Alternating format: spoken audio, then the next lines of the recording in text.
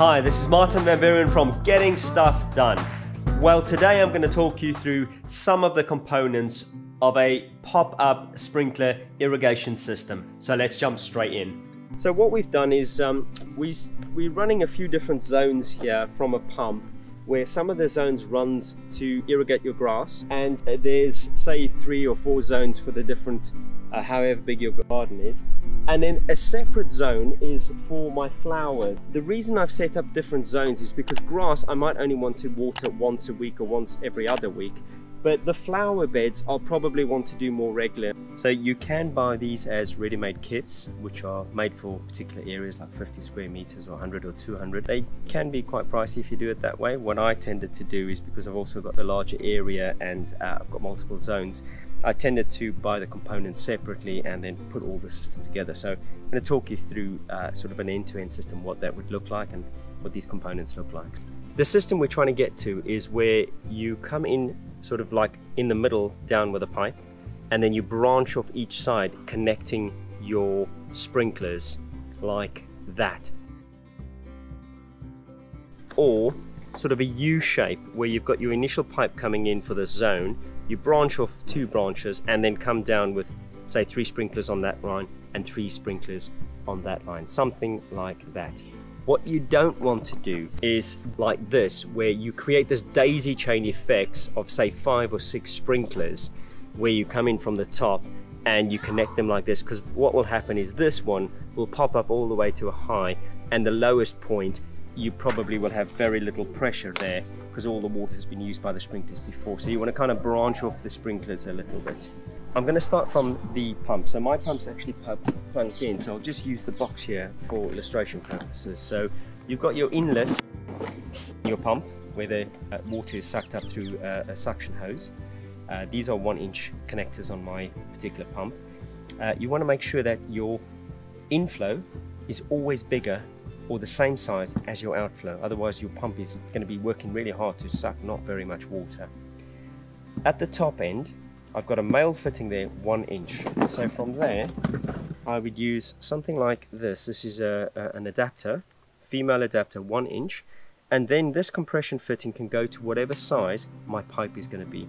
So these pipes, I'm using MDP pipes. Now these pipes, this is a example of a 20 millimeter MDP pipe. They come in rolls of 25, 50, 100 meters. Um, they're really nice, sturdy some of them have even got markers on every meter that if you've used say half of it, you know exactly how many meters you've got left on your pipe. You can go down to 13 millimeter on some of the systems, uh, so real for, for small systems. I needed something more robust and sturdy, which is why I've chosen uh, to use uh, 20 millimeters. In between the pump and the system, I have solenoid valves which is basically a mechanism to open and close the system, and something like this, which is the control unit for the system. Now, I'm not going to talk through all of this stuff because it gets a bit complicated. I'll do a separate video on how these things and how to install and, and connect them. For now, I'm just going to assume you turn your pump on, you turn your pump off, and we start running the system from there. So, you've got your female adapter, which screws onto your pump. From there, you run your pipes wherever you need to go. Just simply plug them in one thing I also use is these um, little liners. That just stiffens up the joints of the pipe when I make my connections to make sure they fit nice and snug. So I pop in a, a, a liner into my pipes and start my connections.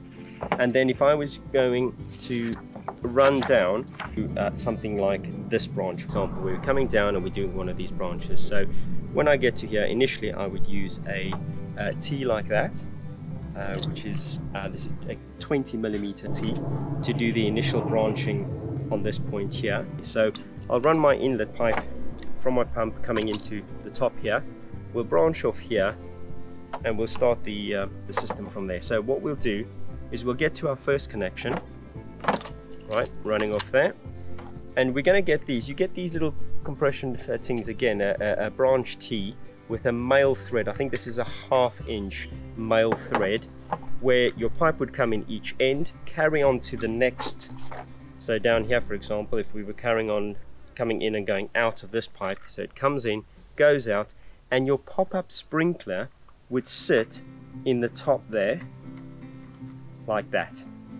This would be covered all underground and depending on how long your sprinkler pop out is, it might be two inches or four inches or even six inches. I know there are longer ones. Um, I think this is four inch uh, that I'm using that will use to to pop out. You do get these connections that on that look like uh, an elbow coming out here and one going out there to form a 90 degree bend. You do get those ones as well. Um, I don't have any of these, so I'm just using this.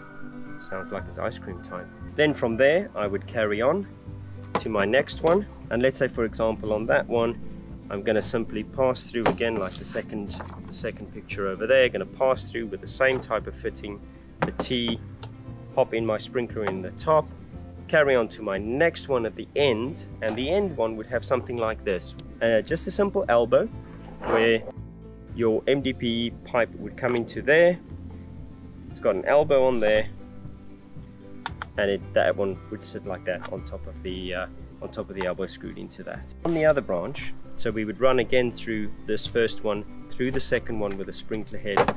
The third one down here at the end of one of our lines wherever we want to do probably the lowest point, we're going to put on our last sprinkler, but instead of doing that elbow, um, this one with the end to end my system, I would again add a pass through and then I'm going to end my system with something like this. So what this is, let me open this packet for you.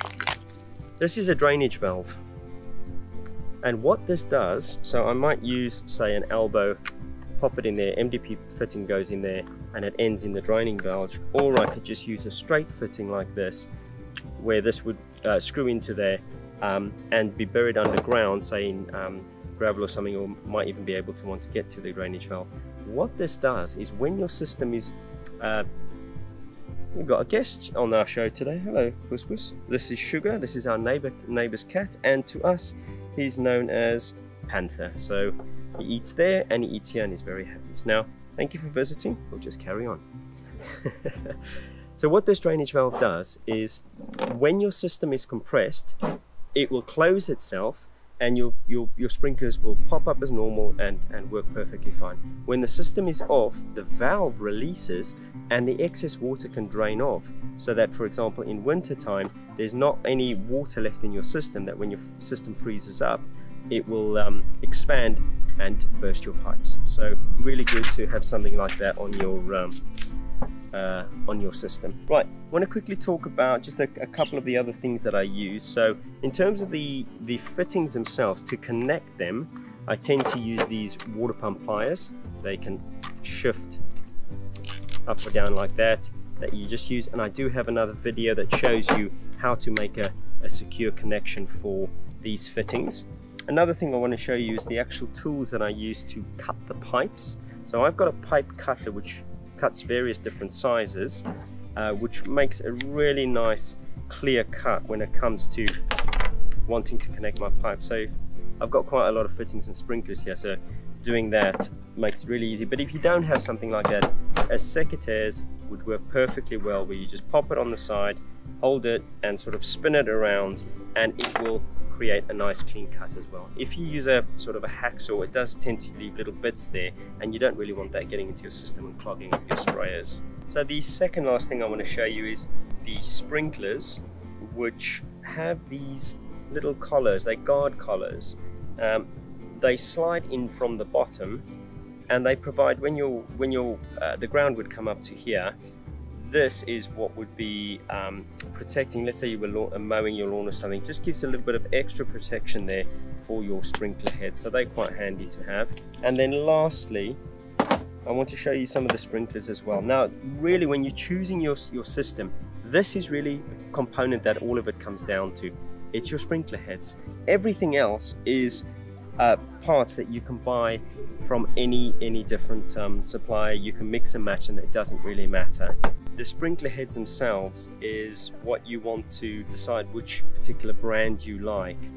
You can put different brands on your different components. I don't think it's going to make a, a huge difference because it's a, it's a self-contained unit. It pushes water in and they all function different. Some of them are just when the water comes through they just spray the water everywhere. Some of them are like rotors or turbines that sort of work like spraying a unit. Depends how much pressure you've got, got in your system. I want to show you some of the sprinklers that I've got here. So these units, when they pop up, they'll pop up two, four, six inches, however long. I use four inches for my sprayers. The type of sprayers, so this particular sprayer sits at the end here and it sprays a jet spray, which is quite handy for a pathway or something like that, or next to a pathway where it's quite narrow. The next particular spray is same principle where it's got a narrow band and in the middle there your sprinkler would sit and do uh, sort of a band along a, a narrow stretch, maybe one and a half meters depending on your pressure.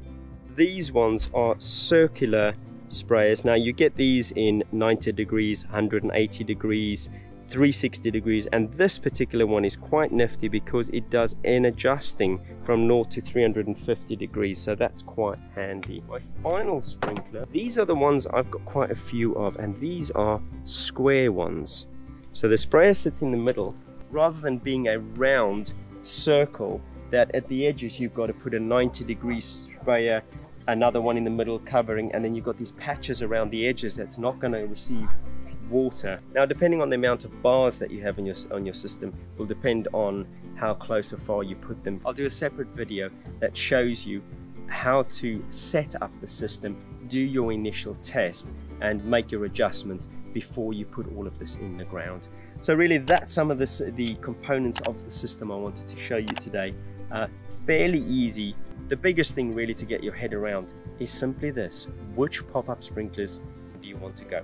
All of the rest is standard fittings that you can get from any of your plumber uh, companies or, or merchants around you. There are many, many different suppliers and you can see just how different these fittings are. I mean, they really are all different shapes, different sizes, but they all pretty much work on the same principle. So it doesn't really matter too much what brand you get, as long as they're nice and sturdy, they'll do the job nicely. Compare the prices, some of them will charge three times as much. Now if you're buying 10 of those, it's gonna get really, really expensive. Again, the same with the pipes, buy them in length, um, just shop around for your prices uh, and you'll be able to put your system in fairly cheaply but the, the sprinklers can is, is what makes the big difference. For today that's the components I've got for you.